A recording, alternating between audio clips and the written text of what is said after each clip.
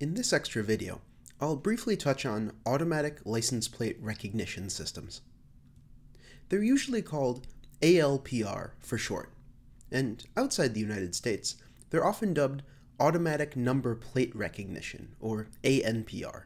These are all terms for the same type of system. There are many uses for automatic detection of license plates, from measuring traffic to billing for toll roads to checking for parking permits. There are especially a lot of uses for these systems in law enforcement. Officers can use ALPR to detect vehicles of interest, such as those that are stolen, or are owned by a person who's wanted for arrest, or are violating a traffic ordinance. Police departments also use ALPR to build a location history for vehicles, which they can subsequently use in investigations. The basic design is that police cruisers are equipped with special cameras and image processing equipment. They record the license plates from surrounding vehicles. A computer in the police car is connected to a license plate database, and it provides officers with immediate feedback. A number of businesses sell ALPR solutions to law enforcement. This image is a system overview from 3M. I'd like to highlight two features. First, these cameras aren't always on police cars. They can be mounted on poles, or trailers, or just about any place else. Second, some ALPR solutions are connected to major law enforcement databases, including at regional, state, and national levels. There are several trends that I'd like to highlight for ALPR systems. Their deployment is through the roof. According to a recent survey of US police departments, about three quarters already have at least one installation. Agencies have reported millions of license plate recordings per year. The data generated by ALPR systems is retained for lengthy periods. Some agencies keep it for years, and some even keep it indefinitely.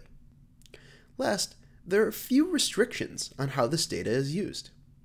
ALPR systems are generally regulated only by a department's internal policies. It's easy to see why these practices have been controversial. ALPR systems are, functionally, a rough form of mass location tracking.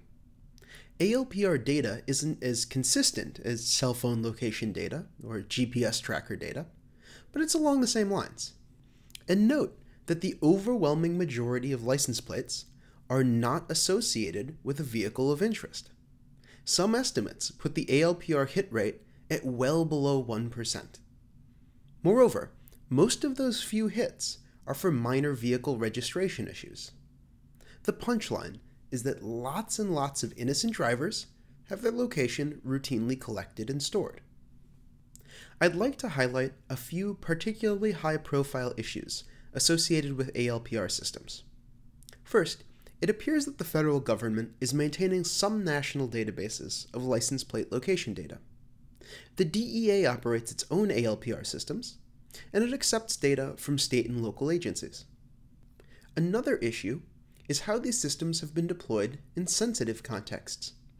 They've been used to monitor public protests, and they've also been used outside of religious centers. The New York Police Department, in particular, took some flack for monitoring mosques. The last issue I'd like to emphasize is how ALPR systems are becoming privatized at least one major provider of these systems sends out its own cars and maintains its own database with billions of license plate locations. As a practical matter, moving these systems into the private sector facilitates information sharing and reduces the role of government oversight.